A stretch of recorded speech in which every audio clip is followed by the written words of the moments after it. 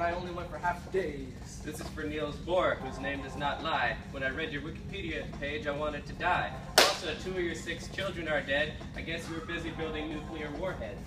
You don't know how the atomic theory works. The only thing good about you is your name.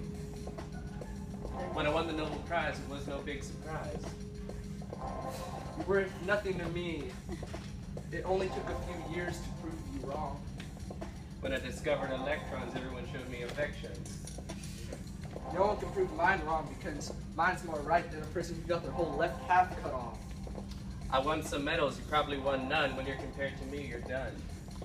You should quit. You should quit rhyming because I'm gonna prove that you're bad at that, like I did with your theory. I discovered electrons and everyone copied me because they ain't fond of me. I had less less life than you. I had 77 years and you had 83. How'd you not beat me? And that's it.